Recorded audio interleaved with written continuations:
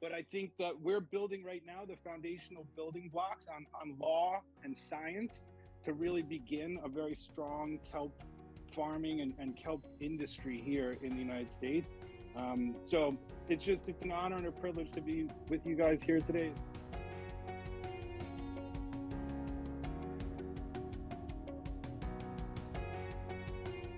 Hello, and a very warm welcome to Cambridge Forum, coming to you live via Zoom. I'm Mary Stack, the director of Cambridge Forum, and today we have a big, tasty topic to savor seaweed. Yes, some of you may be turning up your noses thinking only of seaweed as some slimy, smelly stuff wrapping around your legs and your anchors in the ocean, a beach blighter, and something that's not much good for anything except sushi. Well, you couldn't be more wrong. This wonderful aquatic organism possesses multiple useful applications, as witnessed by the increasing number of marine scientists, ecologists, entrepreneurs, and foodies who are starting to appreciate seaweed's remarkable properties. To prove how harnessing the power of seaweed might help us save the planet, we have three great guests from around the world today, each of whom has dedicated his life to seaweed in some way or another. But before we get to the introductions, let's begin with a brief synopsis about seaweed. It has enormous applications which range from farming to farmer, from food source to packaging. Seaweed can also play a huge role in fighting climate change by absorbing carbon. Some species can take carbon dioxide out of the atmosphere at five times the rate of land-based plants. In addition to being a sustainable food source for humans and animals, it's also one of the fastest growing plants.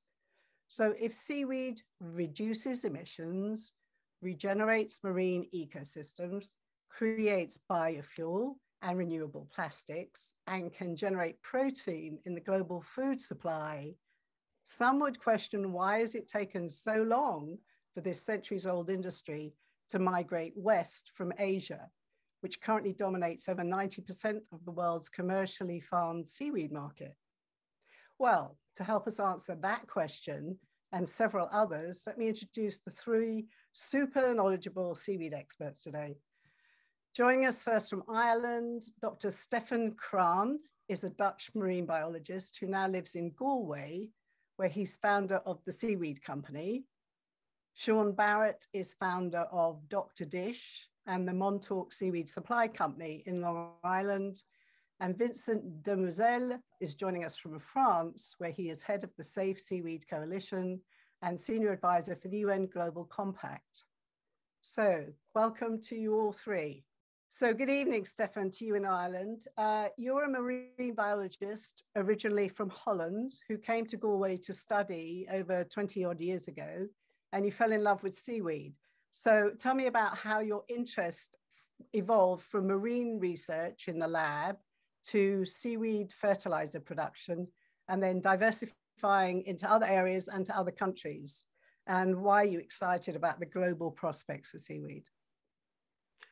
Well, first of all, thank you very much, Mary, for inviting me to this forum and also Cambridge Forum to host this. Uh, yes, seaweed is uh, an inherent part of my life, but it's much longer actually. It's 35 years. And I studied seaweeds in a time uh, in the Netherlands uh, at a university where all my fellow students were looking at dolphins or whales or fish. And I was the odd one out looking at seaweeds. Now, there was a working group or uh, a department in our university that was dealing with seaweeds. So that's where I started uh, getting, well, immersed basically in the world of seaweeds. And in the first instance, it was about the beauty of seaweeds. Uh, if you dry seaweeds on, on special cardboard or paper, you get the really nice prints.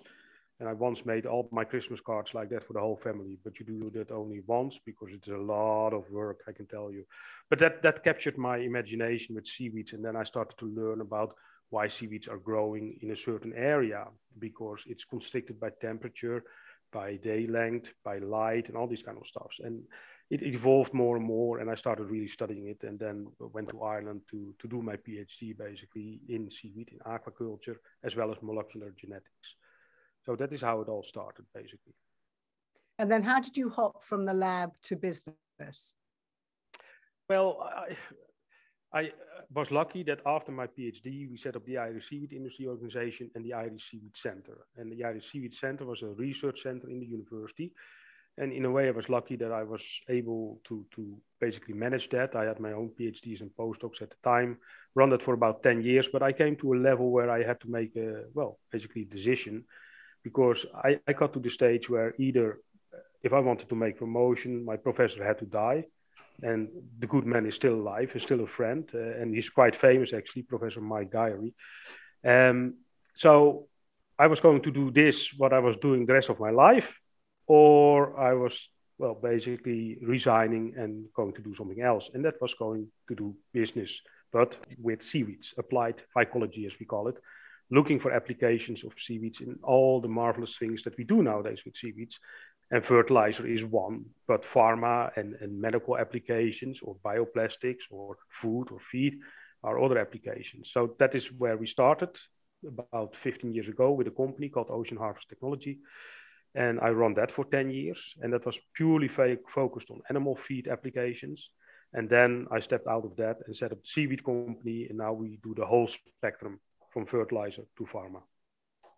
Interesting. And you did that about uh, 2019, I believe. You set that company. Well, the seaweed company we set up in 2019, basically. Yeah, correct. Right. And you've recently uh, had some sort of a Dutch merger. How differently, first of all, the Dutch, how do they farm seaweed? Because they don't have the off coast seaweed farms that, that we have in other parts of the world. And how different do the Dutch handle seaweed as compared to the old honored hand hewn method they used to have in Galway. I don't know if you still harvest by hand in Galway.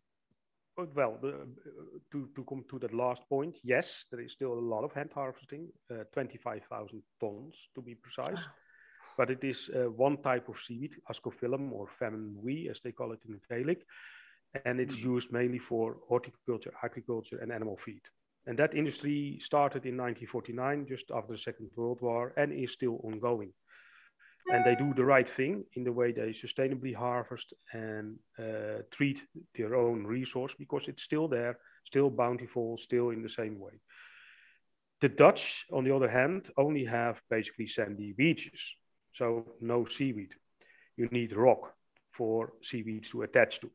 And only in the south, in Zeeland, which is the most southerly pro province, they have dikes, uh, the, the, Eastern Scheldt, uh, that's where there is some seaweed. And that Dutch farm called Zeewaar, they, well, we recently took that over and they have a small seaweed farm, uh, only three basically hectares in a small enclosed area in a harbor. So the methodology is still the same. How they grow seaweeds and how we do here in Ireland is the same kind of methodologies with seed and string and ropes and all this kind of stuff. Okay, well, we're going to get into that in a minute so people understand how it actually uh, goes from being a spore on a rope and then how you harvest it and the logistics of it. But let's move over to Montauk now, to you, Sean. Um, Sean farms seaweed commercially. Um, I think you started off as a fisherman and then you founded the Dock to Dish community-based fishery program. And then last year, you founded the Montauk Seaweed Supply Company, so, what spurred the move uh, to produce seaweed as a natural form of fertilizer for farms and gardens and golf courses? And why did you get fired up about it? Uh, not just as a business prospect, but as part of a kind of holistic community environmental uh, impact organization? Yeah, great questions, Mary. And uh, it was Vincent and Stefan's work that really got me fired up about it. Um, so it's great to be here with you guys today. And I want, yeah, we started, I began uh, working as a very young kid. Um, I was fascinated and obsessed with oceans and fish, and was just, uh, my parents used to say um, they'd have to pry the fishing rod out of my hands when I was very young, young boy. So I started an early obsession with oceans and sea life. Um, and then had just always had a very strong um, attachment and pursuit uh, of trying to create ways to conserve uh, the ocean kind of resources. So starting from a very early age, um, I began memorizing all the different types of fish and learning all I could about oceans and aquatic ecosystems, birds, uh, became my kind of uh, obsession or passion. So that led us over the years to start working in fisheries. Um, Dock to Dish, as you mentioned, was uh, we we borrowed some ideas from some farmers here in the U.S. Uh, we have we had we still have some um, major supply chain issues at times, but going back 10 or 15 years ago, um, we we were trying to solve the problem of long supply chains in seafood and fisheries, where we saw was a lot of the problems. So uh, there was a concept once again, something that the US had borrowed from, uh, from Europe, uh, I think began in France, but community supported agriculture.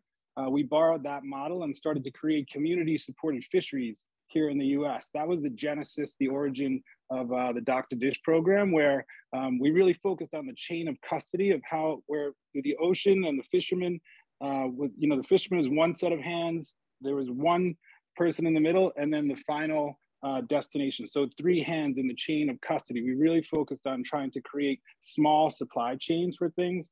Um, but concurrently, uh, the kelp uh, kind of conversation in the US about 10 years ago um, on the East Coast here of the US, a company called Atlantic Sea Farms originally was called Ocean Approved. They're up in Maine.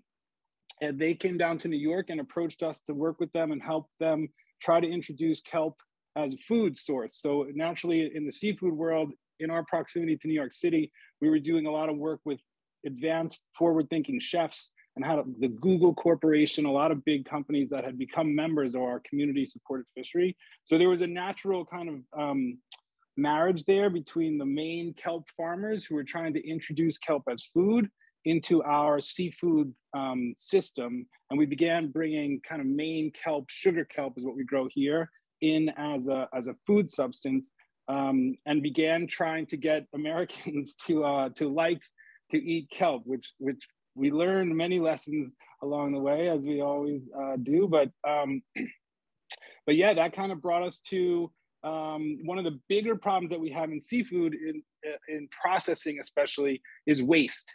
Uh, so about six or seven years ago, we were working in seafood. We were working with kelp as food, but in our seafood sector, we were creating huge volumes of waste um, and trying to figure out like what can we do with all this waste from the processing. And uh, our relationships with some local organic farms in Eastern Long Island, we, we learned that the, the farmers were very keen to take the leftover fish waste and start to put that in their soil as, um, you know, to strengthen the soil. Uh, and so we started to freeze a lot of our, you know, the leftovers from the fish processing and then bring that to the farmers and they start to use that to strengthen their soil. So then the light turned on for me then that, hey, what would happen if we started to kind of harness these nutrients and things that are in the fish? Often there's similar in the, in kelp and, and aquatic vegetation. Um, what if we started to push kelp and seaweed into the soil? So this kind of like thinking this vision was going around for a while, but then I got very humbled by uh, the Shinnecock um, Nation, which is an indigenous tribe in Eastern Long Island, who I thought I had had this really brilliant idea and was running around telling everyone about it. And a few of my friends from uh, the Shinnecock Nation were like, dude, this is like, we've been doing this for thousands of years. This is a very ancient indigenous uh, practice. So since that time, we've worked pretty closely with them. They've now started the, the uh, Shinnecock Kelp Farmers. Um, and we were trying to begin this sea to soil movement where I think um, here in Eastern Long Island, the number one problem as inhabitants of the planet, I think that we're all trying to address is carbon capture. So that's the, the most you know compelling thing about kelp farming to us is its ability to capture carbon. And then we're putting that straight into soil and sequestering pulling it out of um, you know of the atmosphere basically. So our hope is that there's still a lot of science. I'm sure vince can speak to this but um, you know about carbon capture in uh, the kelp space number one. But for us right behind that is nitrogen. So we suffer in eastern long island from we're in the top 5% of the highest nitrogen content in our local waterways. Um, and it continually causes shellfish die-offs fish kills.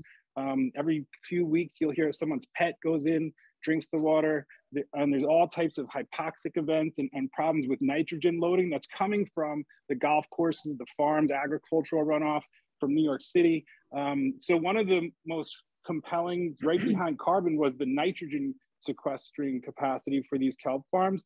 And so we're trying to solve a whole bunch of different problems in one, and that we we continually hear about kelp being this kind of miracle uh, seaweed, you know, being this miraculous.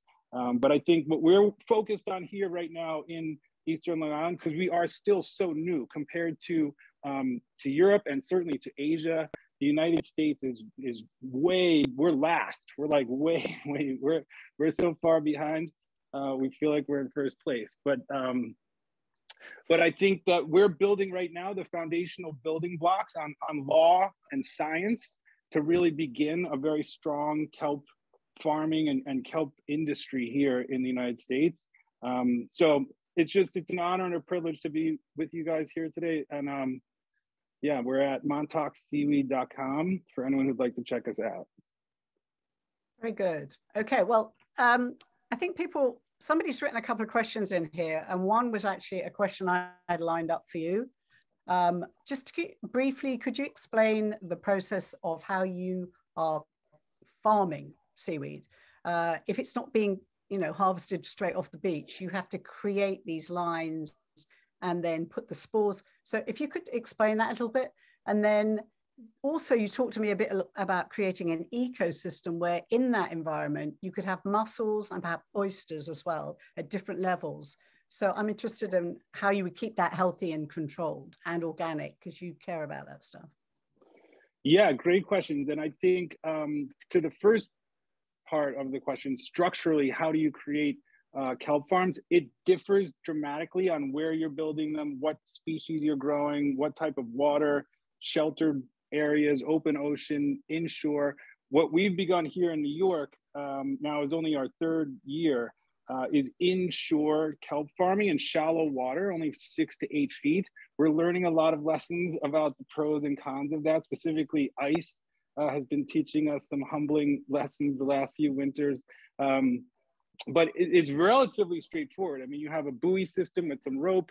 Um, you have some spores on, on a line that go around there. And if you have the right growing conditions, uh, kelp in certain areas, we grow a sugar kelp here um, that's native to our area uh, and that can grow pretty rapidly uh, if it's got the right conditions. But there are all types of variables. Anytime you're dealing with the wild, uh, the open ocean, um, you know, you have to understand like the ocean is the boss, the natural elements. So it differs um, where you're growing, where you're where you're located your farms. Uh, but we basically had to create the, the first legal framework in New York State. It was not legal to farm kelp up until this year. Until uh, the end of last year, right? Yeah, yeah. We would. If you weren't tribal. Years. Yeah. Exactly. Exactly. So we had the kelp bill finally got passed, which uh, was you know it was legal to uh, grow and sell the other weed, but seaweed was still outlawed. So we knew we had to balance that uh, balance that out.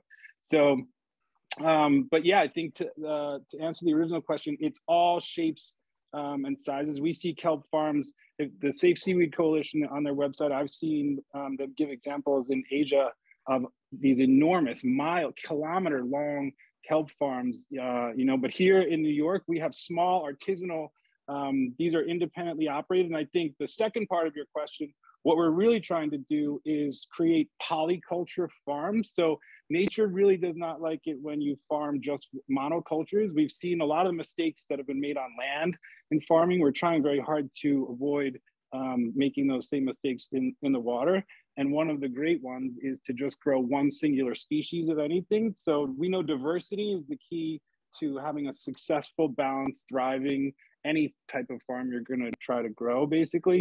Um, so ultimately, our goal and what we're doing now in New York is basically taking existing oyster farms, bivalves, um, and kind of retrofitting them to become oyster kelp combination farms uh, there's a lot of reasons why that is. The oyster farmers are typically experienced watermen who already know a lot of the ecosystem. They have the equipment, they have the boats, they have the experience, the knowledge, the know-how.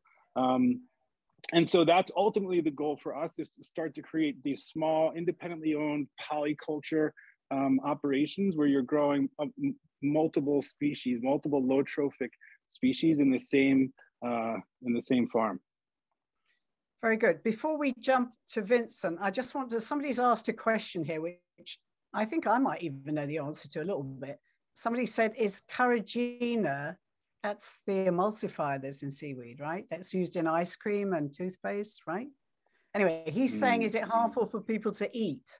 Russ has asked. No, I, I understand where this is coming from. Uh, because there was some uh, problem with that about five to 10 years ago. And if you heat carrageenan at a high temperature for a long time, the carrageenan molecule might actually deteriorate into polyols, which are smaller molecules. Oh, okay. And they have been linked with certain cancers. Oh. So ah. that is where this is stemming from. But normal carrageenan is safe to eat, no problem. Okay, tons of questions. People are really into this about where to where to eat, how to cook, prepare, where to buy. Is there a local seaweed to purchase? Um, so I don't know where that person's asking the questions for. I don't know if there's a central repository of that kind of information. But anyway, so let me go to, to Vincent. Bonsoir, Vincent, over there in Saint-Malo. Thank you for joining oh. us at such a late hour. yeah. So I see you're in the aquarium, even though it's late. Um, so Vincent, you have three hats. You're head of the uh, Safe Seaweed Coalition. You're a senior advisor to the UN Global Compact, and you're also director of the food program at Lloyd's Register Foundation, which is a non-profit, I think. So, yeah. in a nutshell, with all the vast uh, roles you're playing, uh, do you think that seaweed is a wonderfully underestimated subject? Uh, and you've just written a book about it, so you must think it's pretty important. Yes, I did. I did uh, wrote a book uh, which is uh, called The Seaweed Revolution, and we should sign for the English translation this uh, this year. It's performing very well in France, so we uh, this week, sorry. Um, but but just to answer your question, I think it is more than uh, this. I think it is the greatest untapped resource we have on this planet, and and that has the potential to support addressing some of the most pressing challenge we have in this world. Um, just a, a, short story about myself. I come from the food business, so I'm not a seaweed specialist as Stefan is.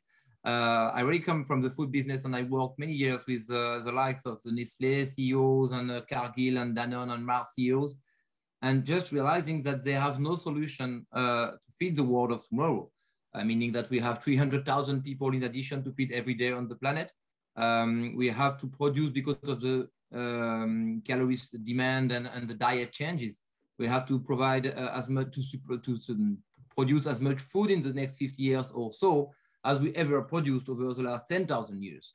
That's kind of a, a complex uh, equation. Uh, and in addition, the yields are stable. Uh, the cities are growing bigger and bigger. And you, you don't have much arable land left and so forth. So we have a big trouble. And in the meantime, we are the first generation to know that these food systems and our economical system in general uh, this food system are the biggest contributor to the greenhouse gas and to climate change, biggest contributor to water scarcity, to soil depletion, to biodiversity loss, uh, and to uh, and to social injustice as well.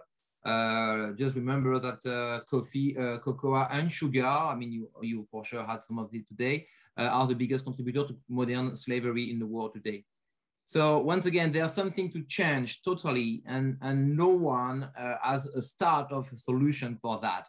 Then you look at the ocean and you realize that 70% of the world is covered by ocean that contribute to less than 2% of the planet, of the food that we have in the planet. So 2% of our calories come from the ocean only, while it covers two thirds of our planet. So if you, you want to have a growth avenue in terms of food production, you have to look at the ocean.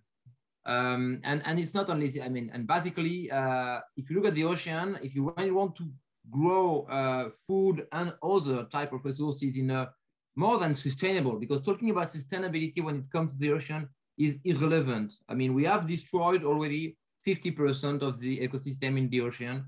So uh, talking about sustainability is irrelevant. We have to talk about restoration or regenerative agriculture, uh, which is exactly what Chan explained. So uh, if we want to start to uh, rebuild ecosystem at sea instead of keeping destroying them as we do right now, seaweed is the very the best place to start because uh, it is the lowest trophic level, so it can really uh, feed and support the other uh, uh, um, the other part of the ecosystem. And then seaweed, I mean, just one thing first, just I realize and worth to say, we talk a lot about kelp, but there are there's over 12,000 type of macroalgae, so seaweed, which are very different. Uh, a green seaweed uh, is uh, more different to, from a genetic perspective to a, a, a green seaweed than a fungi, fungi is uh, to an elephant. So uh, that is really, really different. It's important to note because this wide range of genetic diversity offers an equally uh, uh, wide range of applications. So seaweed for what? Seaweed to support food and diet and human food, of course. I mean, we know that in Japan, seaweed makes up 10% of the food and contribute to, uh, uh, to long life expectancy, low level of cancer, diabetes, obesity, and cardiovascular disease, and so forth. Seaweed is naturally an antifungal, antiviral, um, and, and anti-inflammatory, antibacterial, and a natural prebiotics.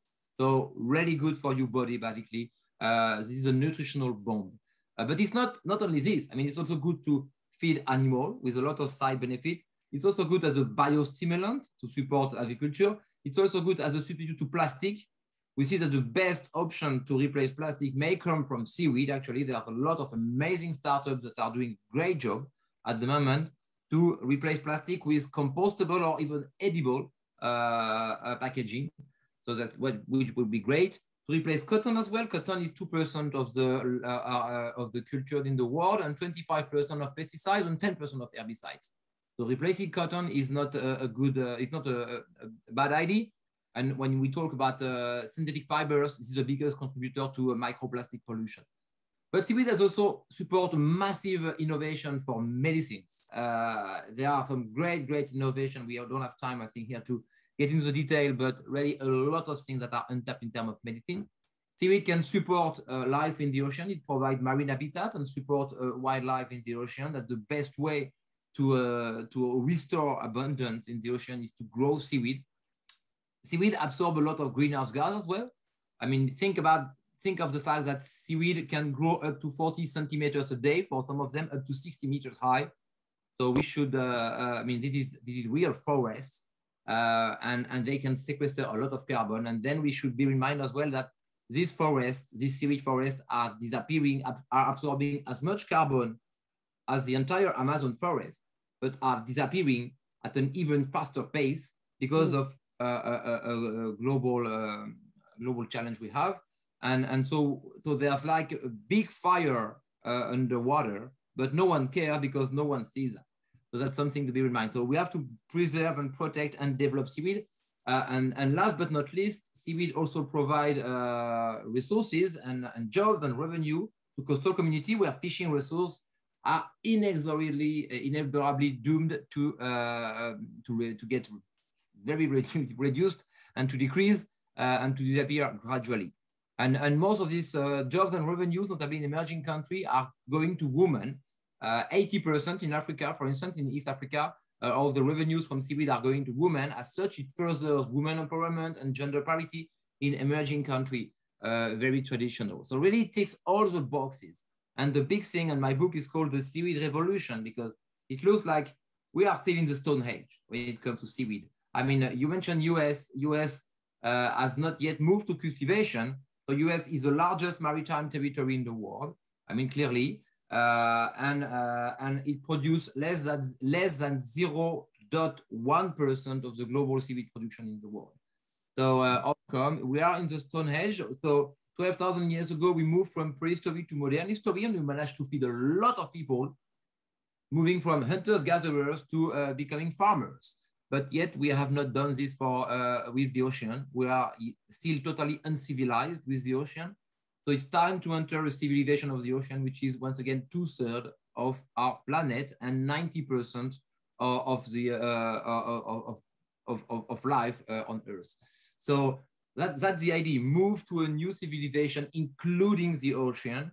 Um, and, uh, and I think uh, the first action we should all have, um, especially you English speaking people, uh, we should change the name of seaweed because of the various and many applications that I have seen I mean, despite I've tried very hard, and I know people have tried all across the world, but you cannot smoke seaweed.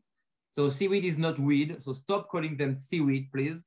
Uh, let's call them uh, sea vegetables, as they do in Asia. Just people so can understand it's it's delicious.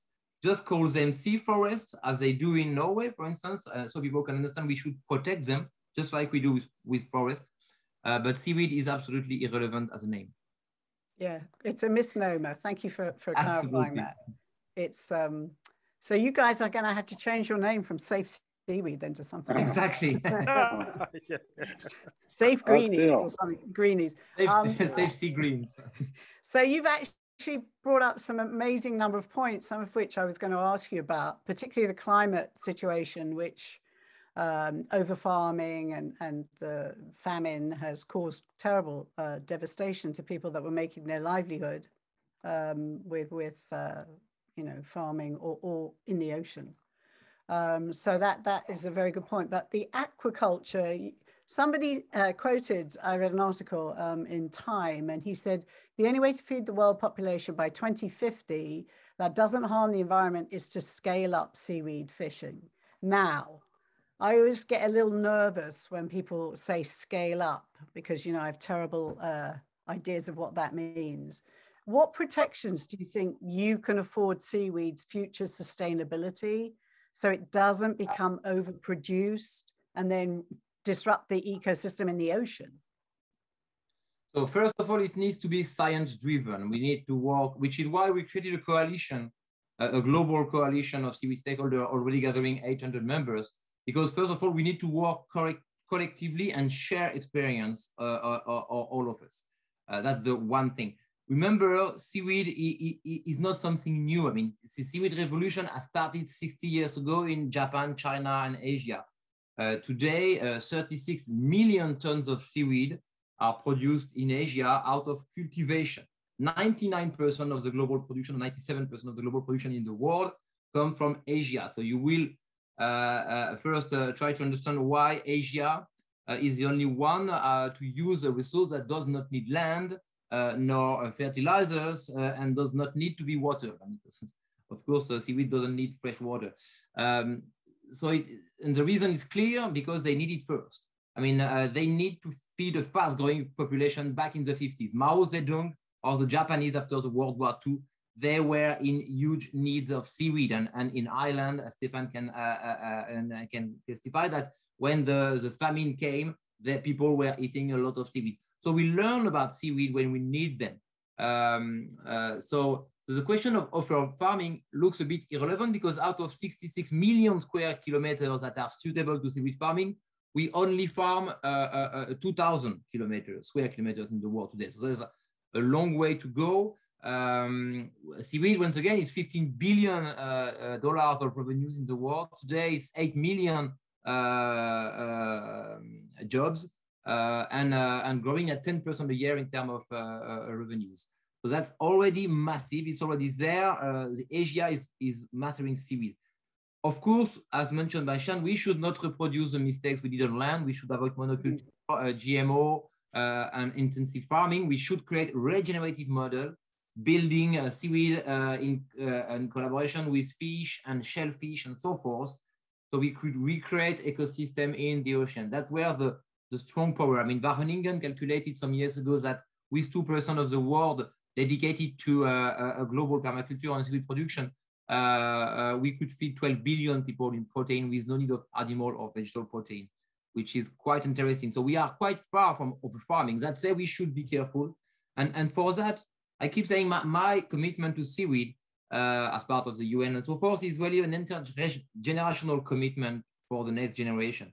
But I think we, we, I mean, we are responsible of what has happened, of what is happening right now. So we should offer them a solution, and I trust them uh, to uh, to uh, to get uh, uh, to get a better sense uh, of what is needed for the environment that we had. the level of awareness by young generation is very high in terms of uh, being environmentally friendly. So we should trust them. We should leave them a chance. And I think once again, being led by science and making sure that what we do in the ocean will not disrupt it is critical. But also bear in mind, we are already destroying the ocean. I mean, don't think like the ocean is something preserved and untouched. I mean, the ocean is full of plastics. We have destroyed 50% of lives there. It's full of pollutants, of uh, of agricultural runoffs and so forth. So, I mean, we have destroyed the ocean. So it's time to repair them. And that's why we are using seaweed basically to repair the ocean.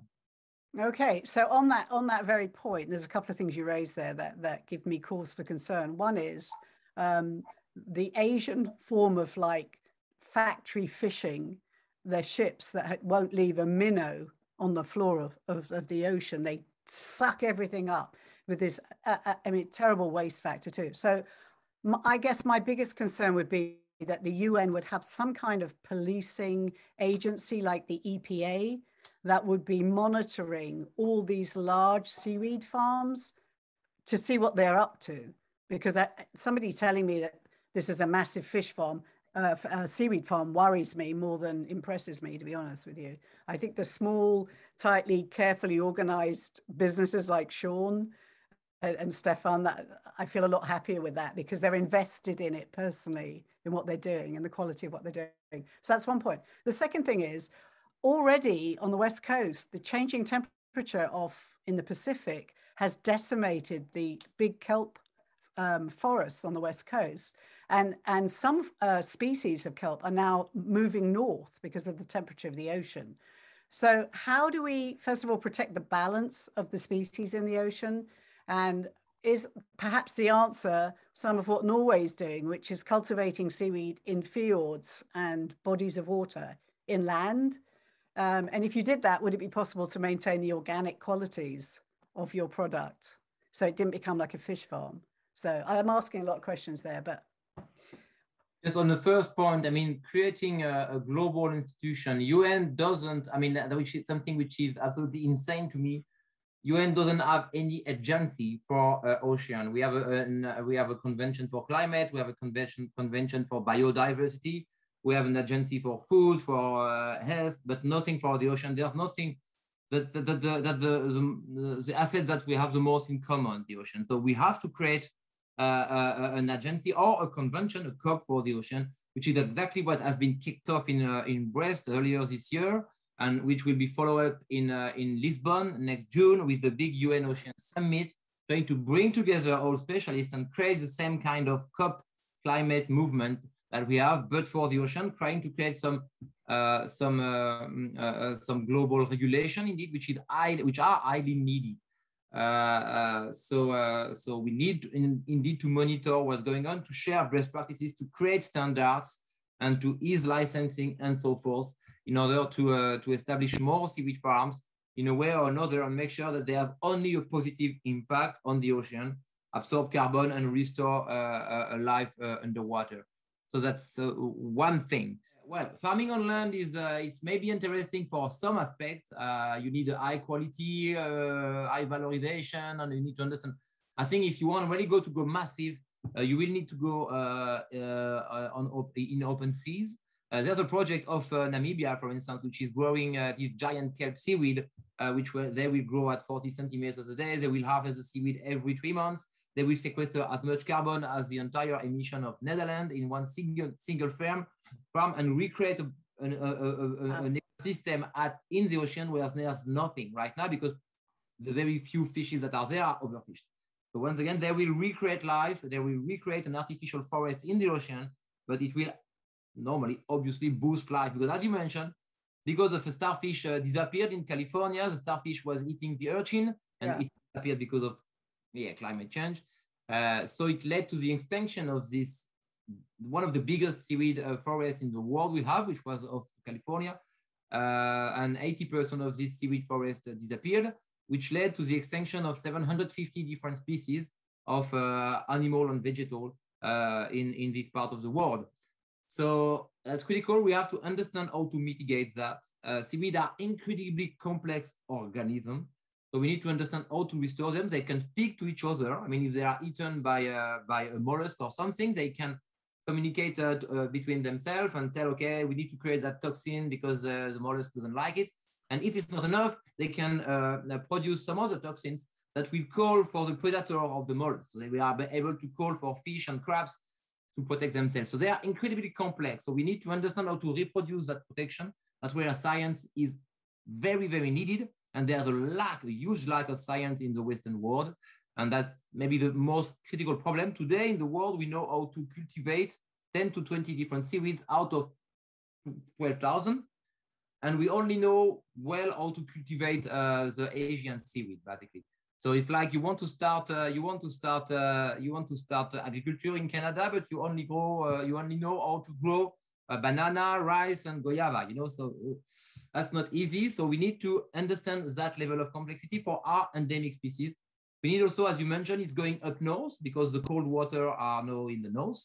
And I can tell you that the Faroe Islands, Greenland, and so forth, they have an amazing business around seaweed growing very fast. Alaska is seen as the next uh, uh, uh, cold rush, I mean, uh, in some extent, because there's a fast growing um, creation of seaweed farms over there. Because once again, all these seaweed, are, so we need to adapt. I mean, the problem is that the, the change is going too fast. So seaweed cannot really adapt to the uh, ongoing change at the moment, while they have two billion years of experience and adaptation to the uh, to the external world.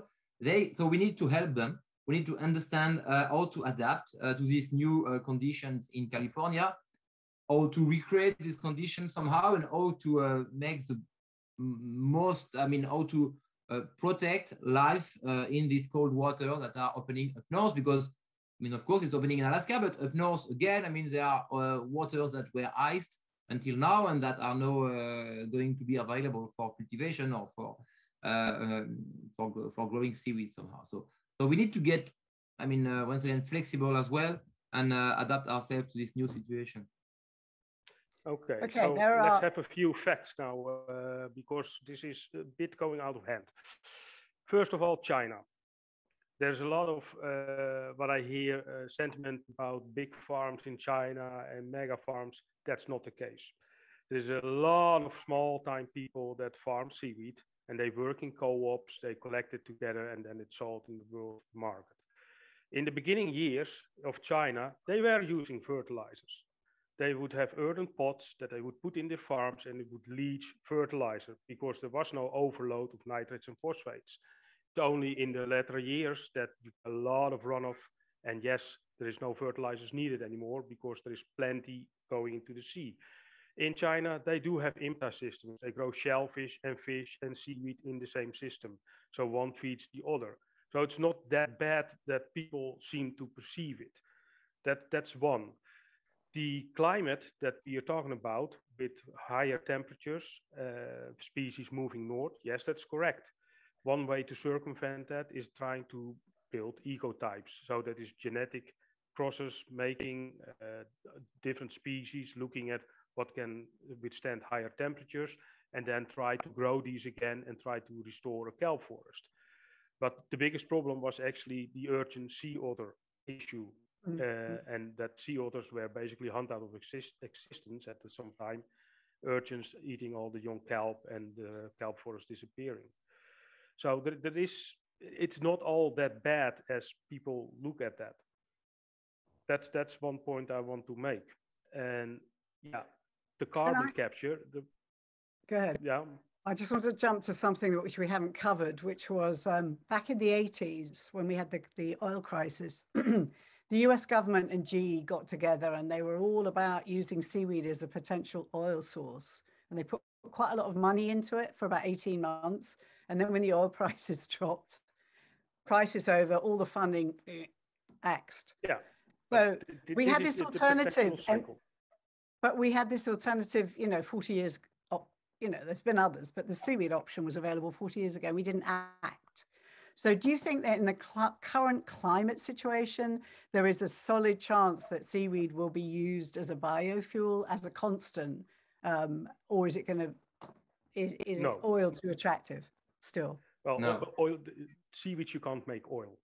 Fat levels in seaweed is very low. It's only 2% of the dry weight you can so convert you make... to bio you can convert biofuel. To, bioethanol.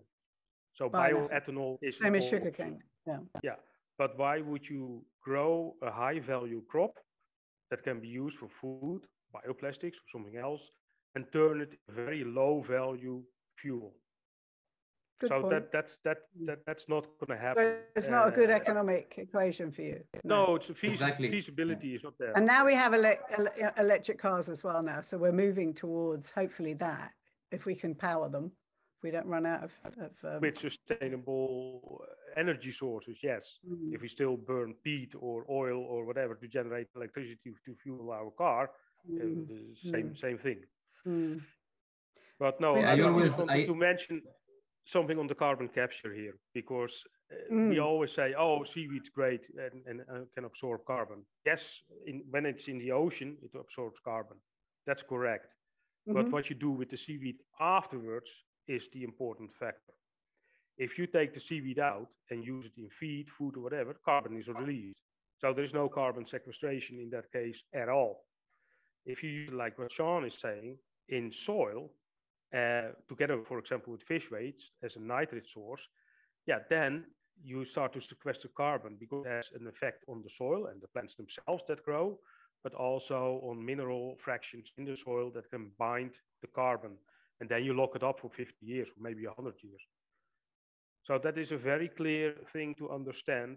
Mm-hmm. See, don't see seaweed as the carbon solution. It depends on what you do afterwards. I see it as a carbon transfercation. So you take up carbon, goes into seaweed, and then you can sequester it depending on your application. Um, another point that you mentioned, which is worth talking about, is uh, if you add red algae to cattle feed, apparently you can reduce methane production in beef cattle by 99%, so said Time magazine. Uh, if that's true, why aren't farmers jumping on board uh, with this brilliant way to reduce carbon emissions? Anybody? That's a nice one think... for Sean to uh, answer. We're working on it. yeah, I think um, definitely methane, uh, decreasing methane for livestock is a, is a project that we're unveiling now, but we're just starting with one sugar kelp species here. Um, I think the red uh, kelp that you talked about, Mary, I've seen that in um, New Zealand area. There's been some breakthroughs, it seems like, uh, in Australia, but here we're just beginning uh, the trial phases of, of uh, sugar kelp, which is a different species. So um, we're way behind on the science on that one. So I think State Stefan would probably once again be our scientific uh, perspective on it. But our understanding is that just small amounts of kelp added to um, to livestock feed definitively has methane reduction. Uh, but we're just now doing pilot runs and sampling. What we can tell you is that the sheep, goats, cows love it. Um, and the farmers have to keep it away from a lot of the uh, hide it. Otherwise, the goats will actually knock down doors to get to it. They absolutely love uh, kelp and seaweed in their uh, in their diet. So, um, but as far as scientifically proven, like Stefan said, I've learned to stay in my lane and not speak about the science yet until it's proven and factual. As Vince was saying, a lot of this stuff is being developed, but we need a lot more scientific research, a lot more of what Stefan is doing to actually validate it. So there's not hype and hoopla, a lot of this frothing at the mouth about kelp and seaweed. We are very committed to having everything rooted and based in science, and we just don't have the science yet uh, to comment on methane reduction yet, but we're working on it. Vincent, have you got anything to pitch in about that? About using no, no, I'm fully aligned. I mean, uh, the Asparagopsis taxiformis you mentioned, it is a small seaweed uh, that's growing mostly in Australia and New Zealand. Uh, it's a small one. We don't really know how to cultivate it. We don't have any feedback on the effect uh, of this uh, small seaweed on the on the microbiome uh, in the guts of the of the of the cows. We don't really know what will be the impact on the meat and on the milk. I mean, we need science once again. We should be driven by science and uh, we should more experience. We should get more feedback. We should make things right and do not overpromise what we can do with seaweed. Mm. Uh, so we know that seaweed in general is very good for microbiomes of the uh, and guts for the uh, animals, just as good as it is for human, by the way. So it improves digestion. I mean, uh, a lot of uh, organizations in, in US or in Europe are cutting the use of antibiotics by using seaweed as a source of feed for animal, which is a good thing in itself because as you know, antibiotic resistance is one of the biggest threats for our world.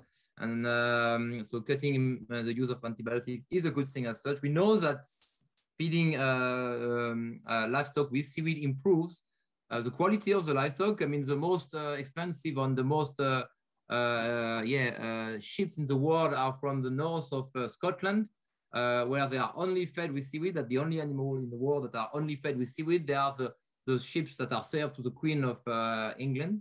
Uh, so, uh, so once again, it's good, it's beneficial uh, for them. Uh, In, in, in, in Iceland, they are feeding animals for ages with seaweed. So let's start with this. It has some benefit on methane. It, it mm, mm, depending. I mean, we are also very we are starting to ferment seaweed and see how we can improve uh, even not only the, uh, the, the, the, the, the, red seaweed. Once again, seaweed has an unlimited uh, uh potential for innovation. Uh, it will take time to explore all of them. Methane reduction is one of them. Let's, let's, let's explore it right. Okay. But in general, seaweed, 10 to 15% reduction in methane. Yeah. Asparagopsis. Oh, not 99%. That was no, Time Magazine. As, asparago was... Asparagopsis which is the red ah. seaweed. That reduces okay. 99%.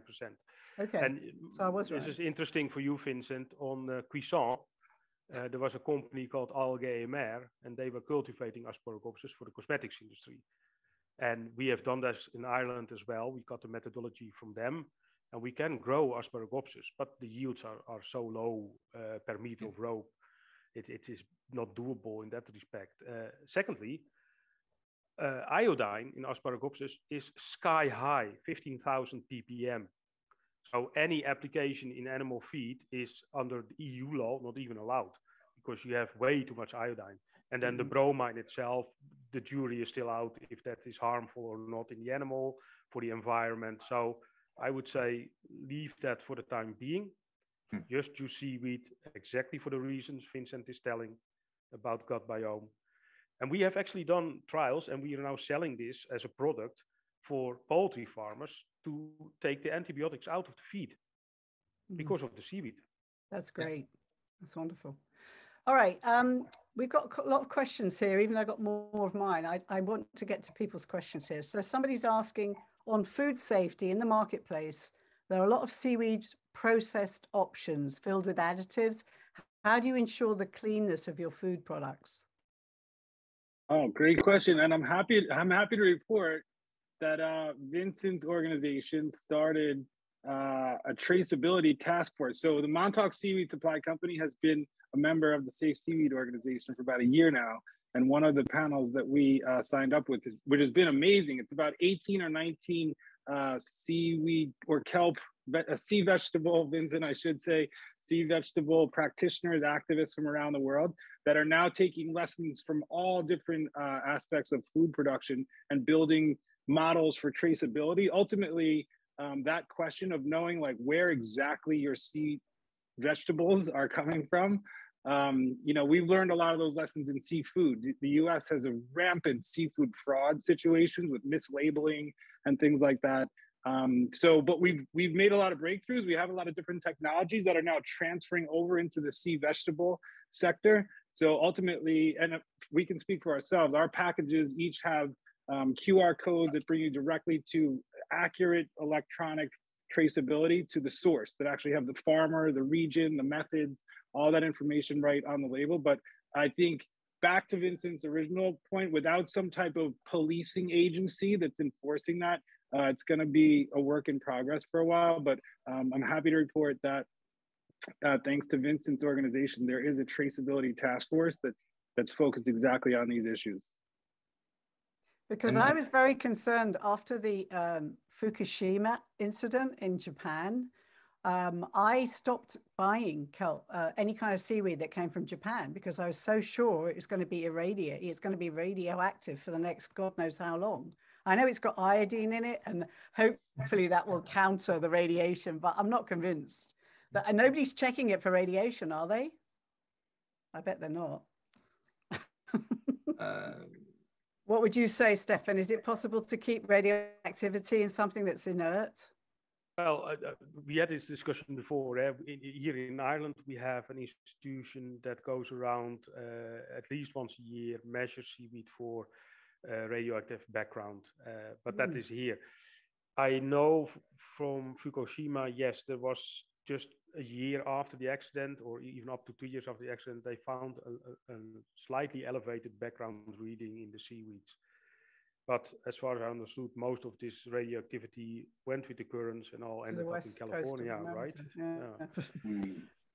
But that, that, that raises the question of international regulation on seaweed, and that's something that is highly missing at the moment. Not yes. for radioactivity, but mostly for iodine the, the, regulation is in the US uh, and in Europe, so let's be uh, is absolutely irrelevant uh, when it comes to iodine or cadmium level and so forth. So we are working. I mean, typically for iodine, it is 100 times lower in uh, in US the tolerance for iodine than it is in Japan, where they have seaweed every day and it makes makes up 10% of their meat of their diet. So we need to harmonize regulation, and we have started the work with FAO on that in order to create a global regulation for seaweed, uh, recorded at the Codex Alimentarius level, which is the highest authority for food safety.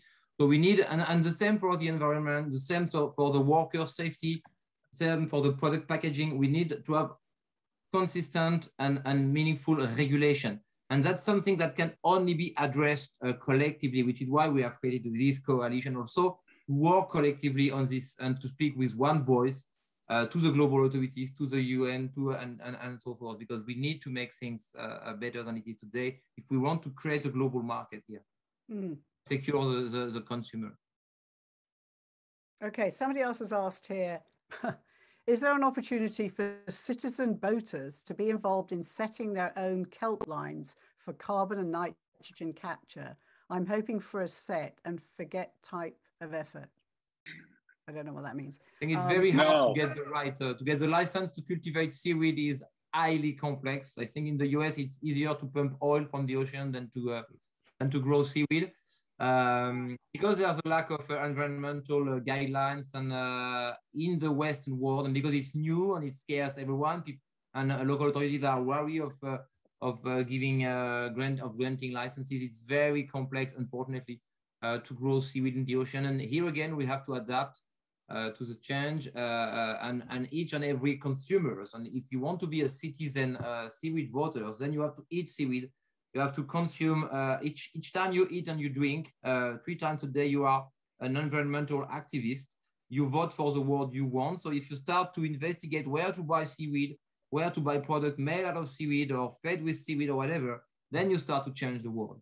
Uh, so I think let's start there because uh, small farms in the ocean, there's a long way to go, unfortunately, but uh, why not?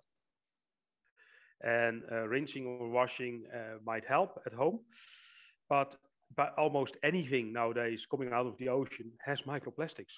It's a fact of life. Yeah, and that we have the same question with uh, with the heavy metals, of course, which is about the same process. And bear in mind, that uh, these particles they are uh, concentrating uh, across the, the food the food chain. Mm. So hmm. basically, you will have more heavy metals in tuna or salmon or wild salmon than you have in seaweed. So if you have to be concerned about something, let's get concerned with tuna and salmon more than seaweed. That's that's the basic uh, answer. Good point.